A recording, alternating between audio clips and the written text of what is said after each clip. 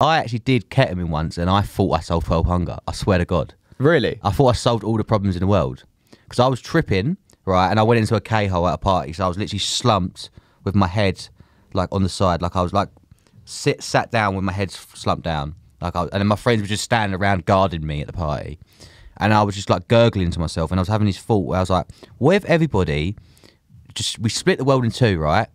And for six months, everyone farms on one side. So the three billion people, because six billion people in the world at the time, would farm, and the other six, uh, three billion people would just do whatever they want. Right. And then they just swap every six months. Okay. And I was like, that's solved all the world's problems. That solves some of the world's problems. It solves all of them. If you think about it, if you six months of work and a farm, and then you, after six months you're on holiday for six months. Yeah, but there are people that aren't going to want to farm. They'll be like, "Fuck that." Well, you kill them people. See, ultimately, this is why this is why all like We'll go Pol Pot. Revolutions and plans fail because ultimately someone. There's goes, always some nerd who wants to be like, oh, I want to be in an office. Fuck you. Get in the get in the fields. Get in the field.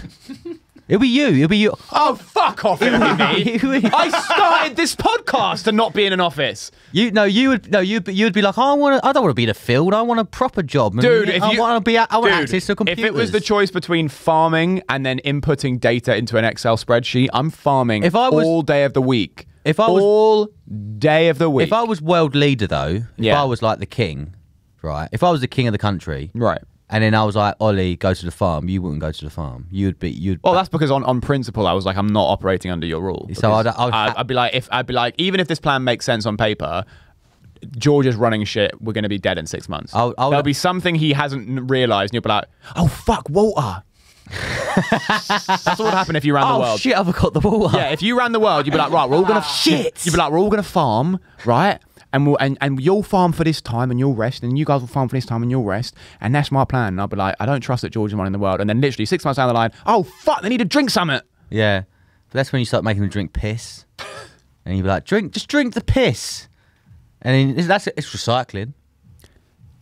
The pirates used to do it on the boats. When they used to run out of fresh water, they'd be drinking each other's piss. I think they'd piss. I don't think they drunk it directly from the dicks, though. I'd make them drink it directly from people's dicks and pussies. Why? Because it's more fun for me.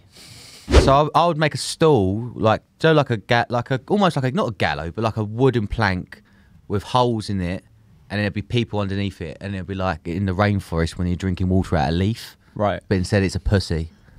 But it's not a sex thing. But it's not a sex thing. Got it. That's rule one. Hey, if you like that video, we have a ton more. So check out our channel, find any of the videos that you might like there. We've got a lot more things to watch. So watch them if you like watching stuff. Do you have anything you want to add? Or Uh, go f- yourself, Ollie. ah, no. watch our videos. Thanks for watching. We have more of them.